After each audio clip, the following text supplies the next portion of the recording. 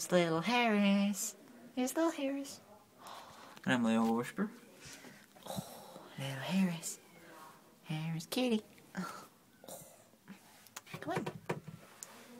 Come on, little Harris. he always comes right down from his skybox if he's up there. Right down for love. Isn't that right, little Harris? Isn't that right? He's just super cute.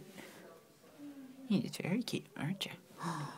Oh, oh my gosh, that's right. You're a lap cat.